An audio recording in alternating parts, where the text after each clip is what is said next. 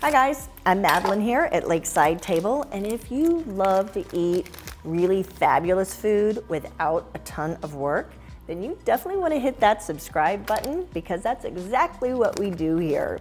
And today we are poaching fish. Poaching sounds a little intimidating, but once you do it, you'll be amazed at how quick and easy it is. And as a bonus, it's even a really healthy way to cook.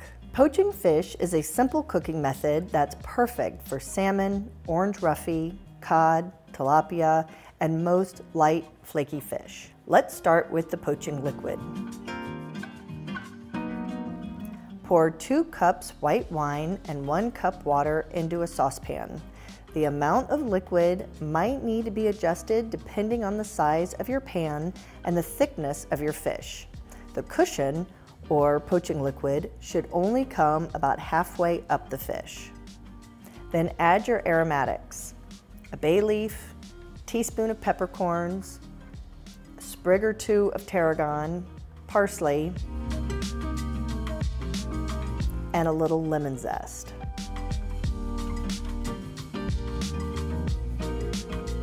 Bring this to a simmer, then lower the heat until the liquid is just steaming place the fish in the cushion and cover with a lid or parchment paper.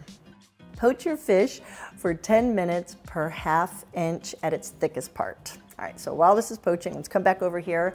And now this is completely optional. This is a little bonus. We are gonna make a creamy and crunchy topping for our poached fish. And it is so good. All right, so we're going ahead and this creamy topping is simply a little bit of mayonnaise, about one tablespoon per fish, and a little bit of lemon juice, maybe about a teaspoon or two of lemon juice, and a pinch of salt. Go ahead and whisk this together. And then we're gonna go ahead and set this aside and get started on our crunchy topping. This is just one cup of crispy fried onions and you're going to smash them into fine crumbs. Okay, I think our fish is done. Now you can tell when your fish is done either by just touching it, it should be pretty firm.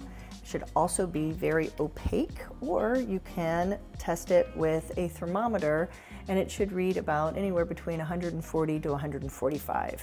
Put the fish on a baking sheet and make sure it's dry. Spread a little creamy sauce over them and top them with the fried onion crumbs. Okay, these are now ready for the oven. We're gonna put these under a high broiler for about two or three minutes. And you're really going to wanna watch this carefully because they can burn like that. Once they come out of the oven, serve them immediately with your favorite sides. Mm. Mm. Mm. This is so good. I cannot wait for you to try this. Please let me know what you think. You can still get you can get a little hit of that lemon from the poaching liquid. And it's crunchy and it's creamy and the way that the fish is flavored. Oh, this is this is worth doing and easy. So easy. So thanks so much for hanging out with me here at Lakeside Table. Make sure to hit that subscribe button, hang around for some more videos, and I will see you soon. Bye, guys. Mm, mm, mm. I'm good more. Bye.